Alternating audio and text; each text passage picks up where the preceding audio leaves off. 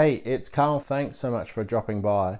Now let's consider for a moment that a lion in the wild, it doesn't wake up and look into the jungle and say to itself, gosh, you know what? I'm not sure there's any food out there for me.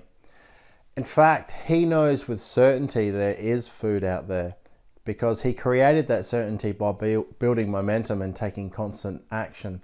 And he developed that certainty by learning from the big cats that already knew where the food was and for who also had the skills that he could learn from in order to capture his own meal. Now, I may not be the best at drawing comparisons, but certainty is the key here.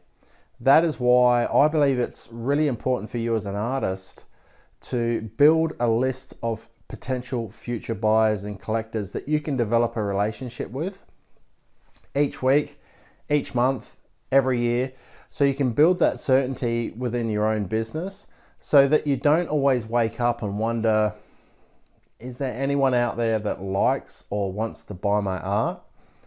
The, the internet is a really powerful marketing tool, but you first need to build trust and confidence in the audience. And by doing this, you become a friend. And a friend, they never sell. Friends always suggest. So, for example, hey Bob, I know a great place to have your paintings framed. Hey, also, tell me what you think of my new painting and whatever else that you want to add to the conversation. So, this type of conversation is essentially much like, um, hey, mom, let's go see this movie. It's awesome. You'll really love it. Now, I can say what I'm saying because it's worked for me quite successfully. And I did my homework and spent many years of failing my way forward simply trying to understand marketing. And we now live in uh, what we call the attention age. So everybody's trying to get our attention day in, day out on our mobile, mobile phones, our email, television, print media, entertainment, you name it. And so on top of that, you have artists after artists desperately trying to grab some attention in the hope of being recognized enough to make a sale. Now, for some artists, it's all about the money.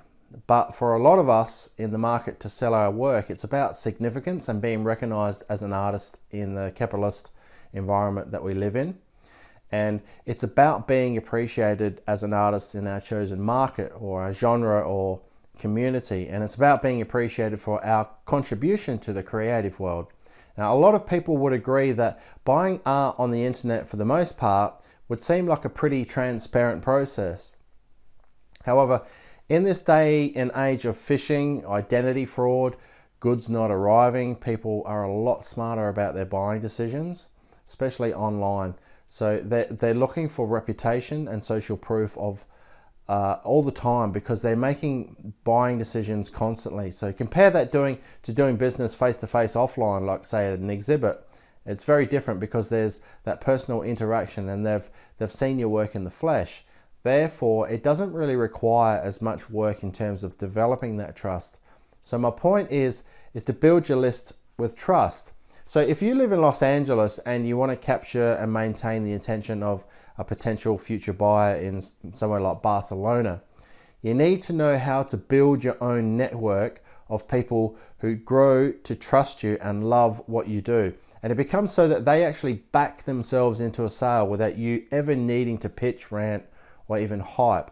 It's more than likely that you probably won't get swamped in sales right now, or perhaps even immediate future. But after all, you're in this for the long run. So start building your network now. And this leads to people on getting people on your email subscription and direct mail list who automatically start spreading your name around like word of mouth, which is the most powerful marketing tool that actually exists. So in this day and age of so-called crisis, you have to start learning how to create your own economy. And there's no security out there, and there never really has been. And many people are just starting to beginning to realize that now. So create your own economy, learn how to market your own work, and give yourself permission and say, you know, I'm I'm good. I'm I totally dig me, and I know, I know people dig what I do as well. So I'm going to go find them, and I'm going to provide a way for them to find me. So Building your network includes encouraging people associated to local galleries, exhibits, forums to uh, who can subscribe to your email list or your your mail out list. Essentially, what you're doing is bringing folk into your circle of influence and using the power of conversation. You're sharing good vibes, inspiration, promoting your own brand. And that's it. so if you like this video, please give a thumbs up. I appreciate it. If you're not done so already, please subscribe to my channel so you can be kept up to date with new content as I post it. And thanks so much for watching. I really do appreciate it and I look forward to connecting with you again real soon. Till next time, your Art Buddy Carl.